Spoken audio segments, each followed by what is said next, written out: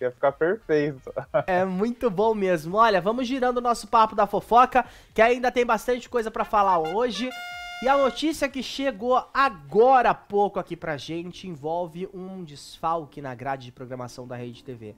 Esse apresentador ele já tinha deixado a Rede TV, foi pra Band, passou um tempo, ele voltou pra Rede TV, ficou lá por alguns anos e agora pediu demissão. A gente tá falando dele, Amaury Júnior. A informação que a gente recebe então, trazida pelo Gabriel Perlini do IG, é que esse relacionamento entre Amaury Júnior e Rede TV chegou ao fim. Ele pediu demissão da emissora hoje, onde ele trabalhou por mais de 21 anos não consecutivos, né? Ele vai investir em novos projetos com a sua produtora de conteúdo e também um programa na TV norte-americana, tá? Um comunicado pela Rede TV foi enviado à imprensa, onde eles, onde eles informam que esse distrato entre Rede TV e a Mauri Júnior foi uma decisão amigável. E a nota diz o seguinte: Abre aspas.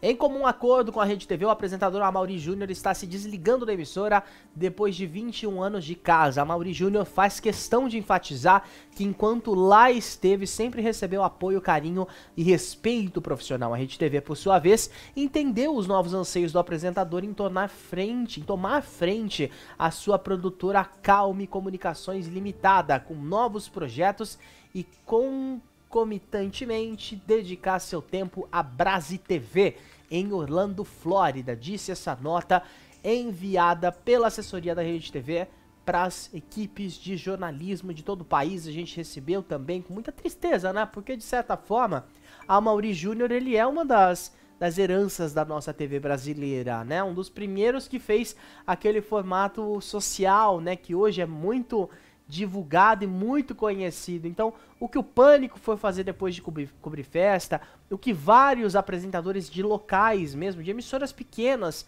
fazem todos os dias, todas as semanas, enfim, foi graças ao que o Amaury Júnior começou antes, né? A, a, o recebimento de imprensa em festas, em eventos é, é, da alta sociedade, como ele mesmo dizia antigamente, né? Foi é, de grande responsabilidade aí do Amaury Júnior. Ele que abriu as portas para que os nossos colegas de comunicação pudessem entrar né, nesse mundo das festas, cobrir esse tipo de evento. É triste, mas parece que agora ele investe mais, né? Vai investir mais na Brasil TV, que é uma emissora lá na Flórida, que aparentemente, pelo nome, é um canal que leva a cultura brasileira para outros países, para outras regiões, né? BRZ é, é também. Verdade.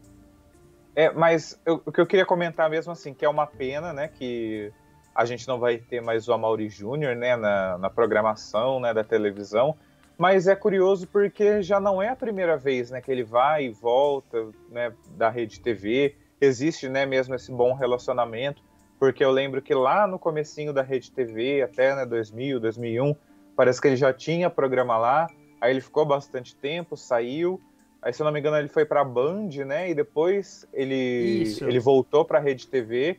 E aí, assim, ele mesclava, né? O programa dele também foi se modernizando, Sim. foi mudando ao longo do tempo. Tanto que, assim, antes ele fazia só né, a coluna social, indo nas festas, indo né, na, nos passeios da uhum. High Society tudo. E aí, logo depois, ele começou a fazer entrevistas também, que nem nessa foto que a gente tá vendo que se tornou um, um, talk show, né, o programa dele também, né, fazendo entrevistas em estúdio. Então, assim, um cara muito versátil que inspirou muita gente, inspirou o Otávio Mesquita, inspirou os programas de humor também, né, o Pânico, o CQC, né, a, o início do Legendários até também na Record, com o Marcos Mion, tinham alguns quadros também, né, de colunismo social com humor e tal. Então, assim, é, ainda que seja um programa que fale para a High Society, muitas vezes, a gente que é né, réis mortais, gostamos de ver né, o, o, lado né, criativo, o lado colorido da é vida, verdade. e o Amaury né, sempre trazia isso, né? Mas sucesso para ele agora né, nessa nova jornada, agora nessa produtora própria, né? E sucesso. É verdade, pelo que a gente, pelo que eu dei uma olhada aqui, essa Brasil TV, né, em Orlando, Flórida, parece que é uma emissora que é, é, repete hoje, né, o sinal da TV Cultura Internacional. E dando uma olhadinha na grade de programação, a gente vê justamente que tinham programas de outros canais. Eles têm o Roda Viva, tem aquele Opinião, eu esqueci o, o, o, restante, mas é Opinião alguma coisa. que é da Opinião Nacional? Não, que é também da TV Cultura, e tinha o programa do Amaury Júnior, então parece que agora vai ter um investimento maior, né, para que ele fique nessa BRZ, a Brasil TV, que é uma, entre aspas, afiliada da TV Cultura Internacional, que eu nem sabia que existia TV Cultura Internacional. A gente descobriu para trazer essa notícia aqui com vocês, né? Então, canal BRZ, que chega agora nas plataformas digitais, né, lá nos Estados Unidos e vai integrar também o conteúdo do Brasil, levar um pouquinho do nosso Brasil para os brasileiros ou para os gringos que não não estão aqui, né? Tem muito brasileiro que às vezes sente falta da cultura, sente falta da televisão, da programação e agora vão ter mais um, um nome de peso aí, a Mauri Júnior. É triste, a gente vai sentir falta dele com certeza. Ele tá desde 2002 na Rede TV, passou pela Record também, né? Ficou ali por um tempinho breve na Record, passou pela Band, como você falou, TV Gazeta e outros projetos que foram encabeçados aí pelo Mauri Júnior. Sucesso, Amauri. Um grande abraço para você. Fica claro o nosso carinho sempre. A gente espera que, quem sabe, o seu programa não possa ser exportado para cá também, né? Já que ele exportava o programa dele daqui para lá, por que de lá para cá não? Né?